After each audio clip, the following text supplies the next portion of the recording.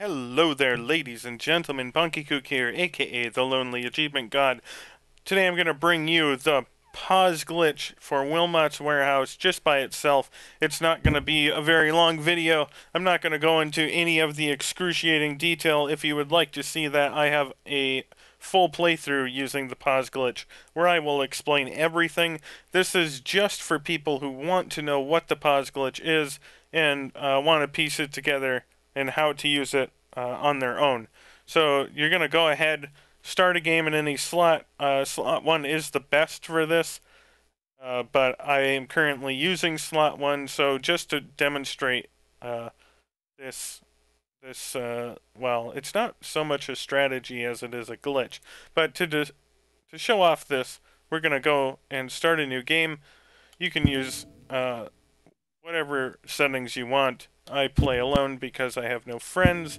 We're going to do normal mode, expert mode, does not matter because you are skipping everything, so the settings don't matter. Settings. Settings don't matter. Start up a game, skip the tutorial. Uh, so you're going to start off with a delivery phase, which you can always skip in any playthrough. All you have to do is once you get through this, press A, press start.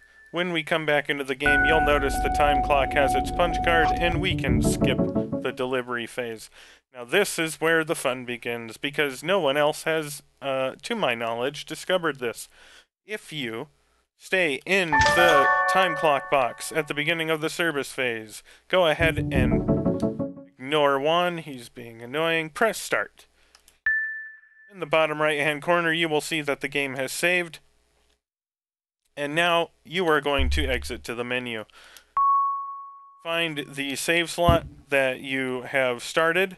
Uh, that's why it's easier to use slot 1 because the cursor automatically goes there.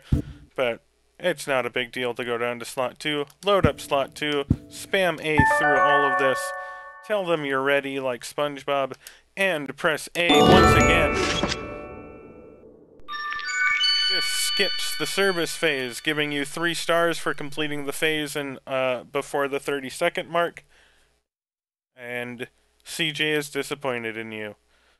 Because none of the customers were happy, it kind of glitches the game out. The game recognizes you completed the phase, but uh, it also, excuse me, you also uh, tell the game that you didn't get any of the stars from customers. Go ahead, tell CJ you're sorry. It does not matter.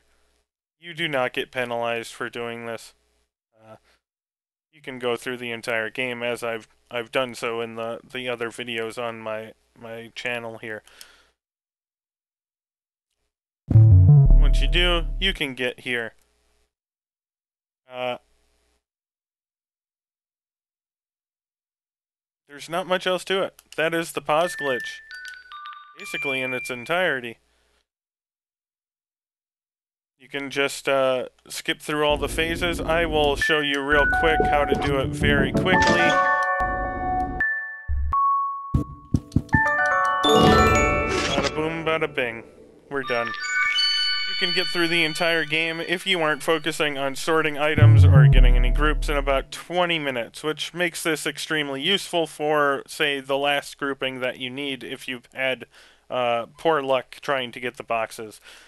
That's all I'm going to do in this video, guys. Uh, if you're looking for a lot of information about it, I have an entire video playthrough where I used the pause glitch to uh, not only get achievement groupings, but go through the entire game.